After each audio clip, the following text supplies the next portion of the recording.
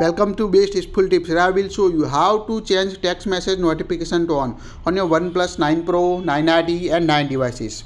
Open the Messages app on your OnePlus 9 series. Tap on a profile icon at top right corner. Tap on a message settings. Tap on a notifications. Tap on behavior sound and more. Now scroll down and tap on a incoming messages. Again scroll and tap on a ringtone now select the ringtone from the list you want to set. If you want to select from your phone tap on select from files. Here you can see your music and recording files. If available select it and set as a message tone. Also choose none if you don't want to listen notification when you get text message. It's quite easy to change text message notification tone.